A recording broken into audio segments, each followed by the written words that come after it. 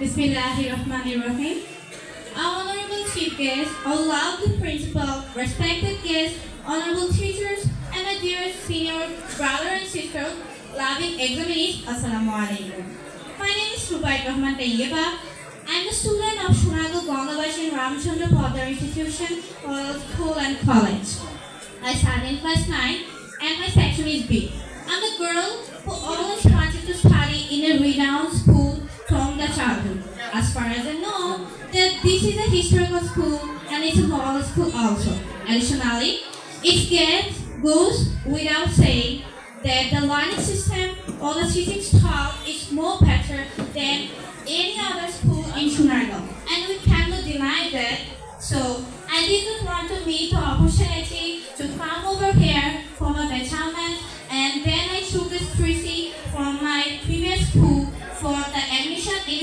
beautiful institution. So well, today we are gathered here to give farewell to our seniors and it's my pleasure that I'm here to say thanks and wish the seniors on behalf of my class. Having brilliant seniors is always a motivating factor and we are lucky that we have seniors like you.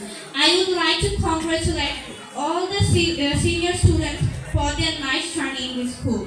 Now, when you are going to college to pursue a dream career, we all are happy. But somewhere we have uh, also the pressure to be as good as you were, to be there for the juniors as you were for us. It's farewell. It's a celebration to celebrate your success and wish the seniors well. But today, I want you to wish us as well. As students, you all made the school proud.